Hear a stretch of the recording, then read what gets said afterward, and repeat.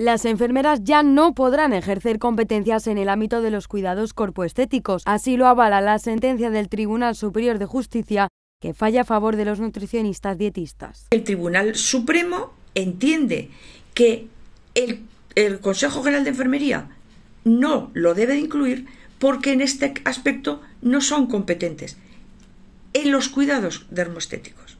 La Asociación de Enfermería y Dietética denuncia que la sentencia está llevando a interpretaciones más genéricas que desplazan a la enfermería del ámbito de la nutrición. No puede utilizarse como una excusa para pretender excluir a las enfermeras del ámbito de la actuación de los, de los cuidados ni sus competencias que adquirimos ya al salir de la facultad. Funciones exclusivas de la enfermería que la diferencian de los nutricionistas como son inyecciones intravenosas, intramusculares, aspiraciones, colocación de sodas enterales, de catéteres, además de controlar la alimentación del paciente y el manejo de la medicación, completa ese circuito de lo que es el cuidado porque observa el lenguaje de, verbal y no verbal de ese paciente. Por eso el Consejo General de Enfermería ha presentado un recurso de amparo ante el Tribunal Constitucional y espera que las enfermeras y los nutricionistas puedan hacer sinergia y trabajar en equipo por el bien de los pacientes.